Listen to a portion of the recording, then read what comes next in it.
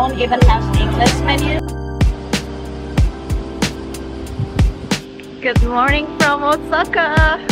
Oh my god, um, we just arrived yesterday and of course um, first order of business is to go to the convenience store. So I'm heading to 7-Eleven to grab some breakfast.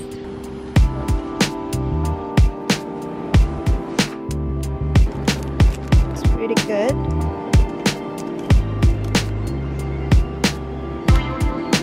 Noodle. Oh, it's been a while. Gotta try this soon. So I'm currently staying in Shinsaibashi. Um, actually, I really like this area because it's a little bit outside of the center and near Dotonbori. And when I went there last night when I just arrived, it was very hectic. There's tons of tourists now. Last time I was here was in 2022, so like right after COVID. And yeah, it's nice to see like the tourism definitely picked up. There's just so many tourists now so if you're coming to Japan make sure that you have everything prepared. Book an accommodation that's not really at the center but it's still very uh, convenient um, to get anywhere. So I would say like book somewhere near the station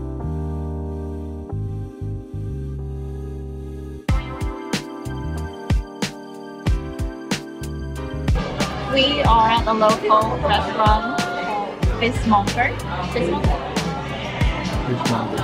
Fishmonger portray this is a very authentic place. Um, they don't even have English menu. Honestly, you see more local people here. What's surprising is now they do have like English menu, so you don't have to speak Japanese to come here. I think like yeah, let's check out the food. just to put a little bit at a time uh-huh. and slowly, slowly breaking it up, like mixing it, you know? mix everything Yeah. it's so good Uh, don't eat all the rice. Eat the, the rice. Good too. So they have a Japanese instruction there saying like you don't finish all the rice so you leave it until all the fish or all the seafood are gone and then you can ask for a soup and then eat it with the rice after. Yeah. Yeah, mix it. smells so good. Alright, trying it.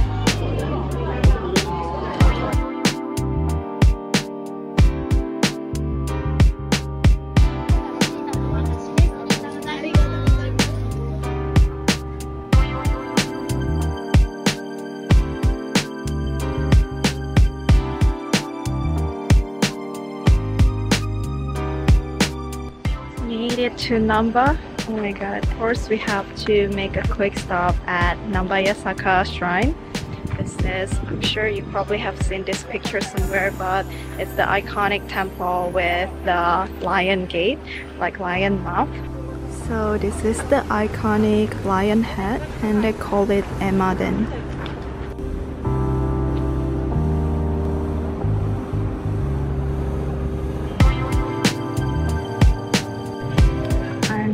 Currently at this Daifuku place, which is like a mochi with fruits inside, and that was one of my favorite snacks when I came here to Japan two years ago.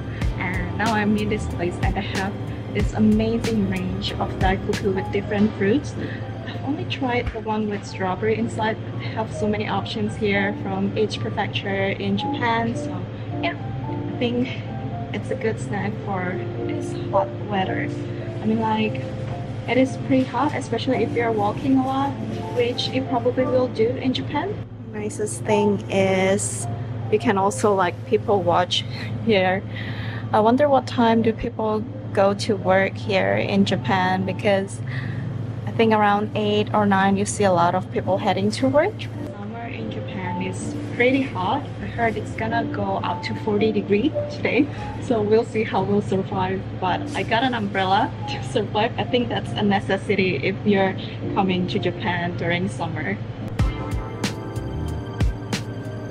Here are the daifuku. We have several different um, flavor and they also give you a string where you can like cut the daifuku open.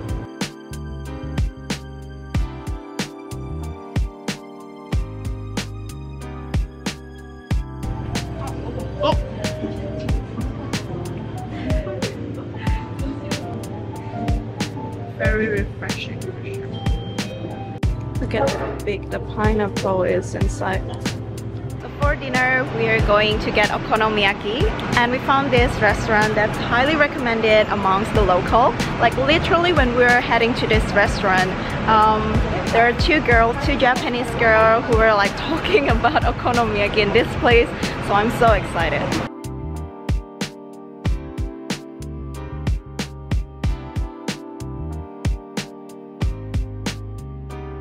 Um, it's basically like omiyaki, but instead of the cabbage, they replace it with eggs. So it's like momos.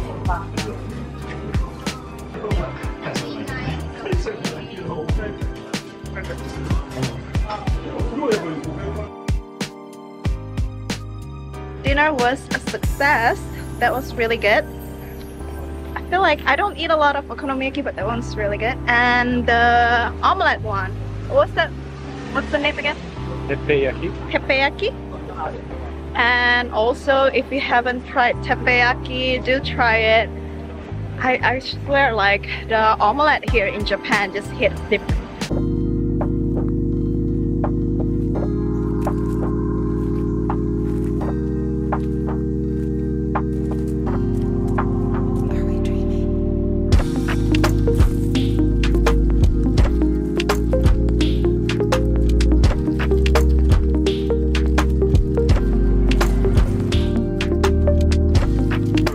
It's beautiful.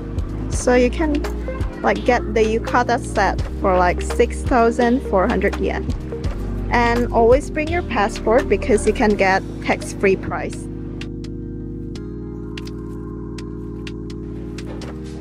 Going to try Kyoto Yukatsu. And they also have this interesting menu where it comes half and half. Half beef, half eel. So I'm going to try this one. Yeah, probably.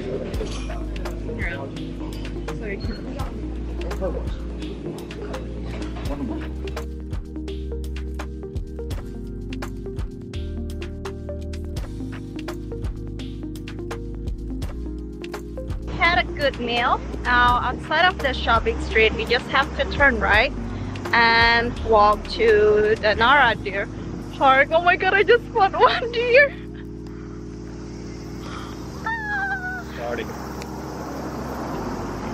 Sorry. So I thought you have to go to the park to be able to see the deer, but even here on the on the way to the park, I've seen a lot of deer and they're just like chilling there on the street. Like, look at them. That's coming. We have officially made it to Nara Park. Look at the amount of deer here. Wow, it's being sorry, cute.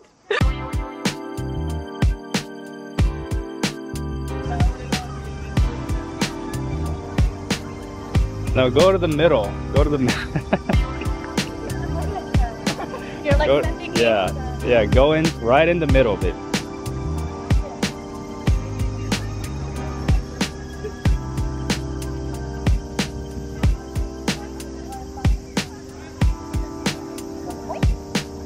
Look at that, it's begging.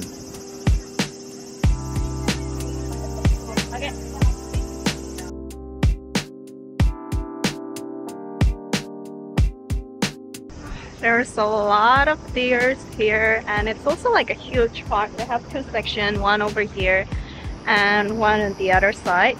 We bought this like crackers for 200 yen. It finished in like seconds. But I think if you don't want to get like surrounded in an aggressive way by the deer, you should just not get the cracker because even though you don't have the cracker, they still come to you and they're more gentle.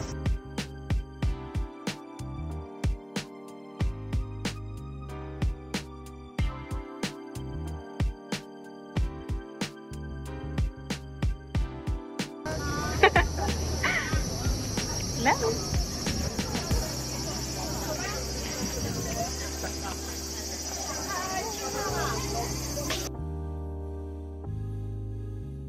At that deer chilling inside the pot. So there are a couple spots that you don't want to miss, like Todaiji Temple where we're heading. There's also Mount Wakakusa. Um, basically, it has a good place for sunset, and you still can see deer there. And then the Kasuga Taisha Shrine, which we're gonna check out. You can just like visit them at once on the same road. this deer is about to cross the road too, I guess. Yeah? You wanna cross the road? Ikoka? think getting an umbrella during summer in Japan is a necessity. Um, Nara is not too hot though. It was still pretty bearable to walk around.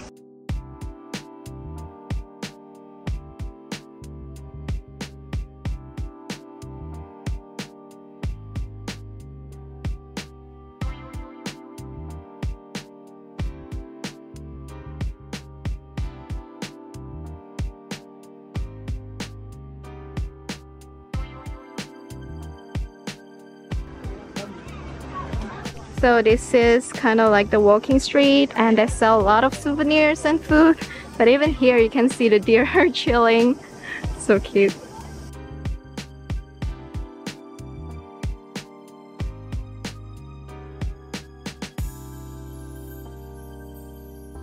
So to go inside you need to purchase a ticket and then this is the entrance.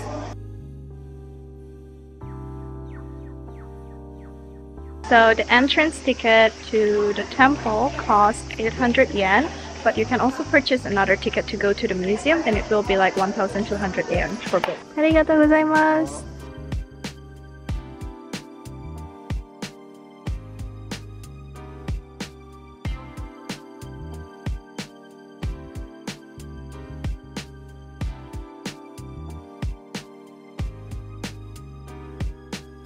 We're going to head back it's probably gonna take two hours by train to go back. I highly recommend you guys to come to Nara if you're in Osaka or um, Kyoto. A day trip is definitely doable. We got here around 11 a.m. and it's currently 5 and we take a lot of places. It's very nice because everything is on walking distance. You can head to like one place to the other very close yeah you don't even have to take taxi or anything. It's just like 11 12 minutes away from one spot to the other spot and you'll get to see a lot of things on the way. So highly recommend you guys to come and check out Nara. A day trip is totally enough. But yeah I hope you guys find something interesting. I'll see you guys on my next one. Bye